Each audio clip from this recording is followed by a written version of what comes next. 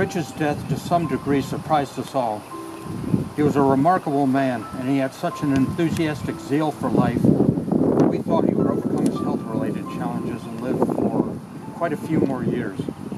He was amazingly resourceful and determined, and had a strong desire to continue to live a very active and productive life, pursuing his many interests in retirement.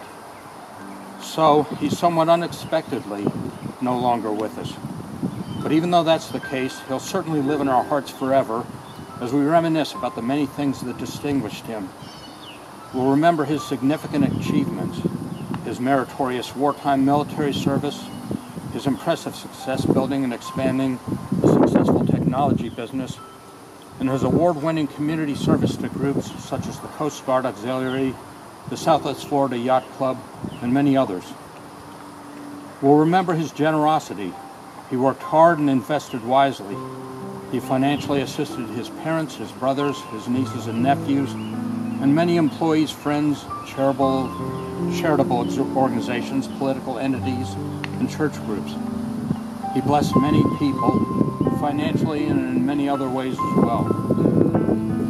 We'll remember his wisdom. Most of us came to him often in times of trouble to receive counsel regarding employment issues, relationship problems, legal challenges, and a myriad of other problems. His tremendous breadth of life experience, coupled with his intelligence, compassion, and humor, made him a man that many frequently came to for counsel. We'll remember his resiliency. Over the years, he had what many would deem to be more than his fair share of health problems, difficulties pertaining to business dealings, losses, misfortunes, and other crises of various types.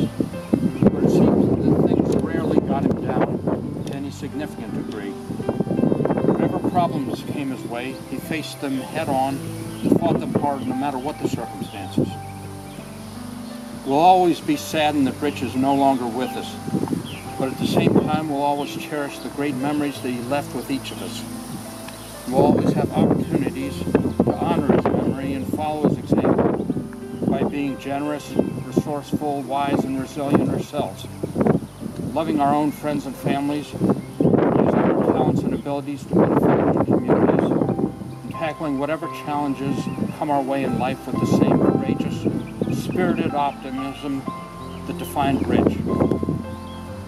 This is a bittersweet occasion we're saddened that Rich is no longer with us, and we will do our best to comfort each other as we mourn his passing. Yet in the process of grieving, we will also take the opportunity to thank Rich for a life well lived and be very grateful for the honor and privilege we all had of sharing that life with him.